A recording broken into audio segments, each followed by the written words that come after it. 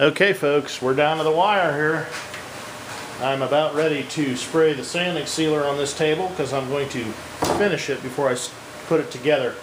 Reason being, uh, things get pretty complicated underneath here and when I've got a spray gun and a hose, which I'm going to use a different spray system to put the finish on. I'm going to use the cup gun to shoot the uh, sanding sealer because um, The other, the finish needs to have more breakup and so I don't get orange peel. This gun will tend to orange peel a little bit, which with the sanding sealer doesn't matter so much. Anyway, you can see I have stuffed rags in my in my tenon or in my mortise holes so I don't get finish in there. We want virgin surfaces in there for the glue to stick to.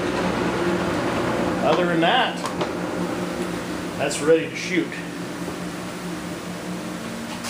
I've got my gun back here. I'm going to slip my mask on and uh, hook up the gun, adjust the pattern, and we'll go for it.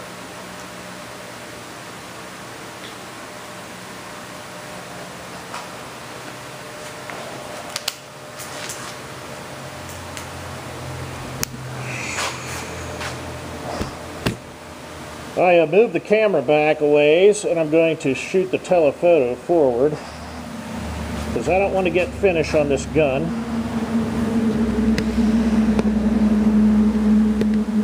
Sorry.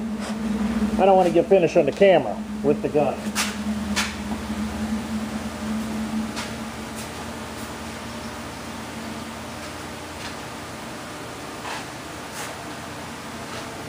I'm going to turn this. This was set. Horizontal. I'm going to turn it vertical so my fan comes out horizontally rather than vertical. Oh, I don't have to tip the gun sideways.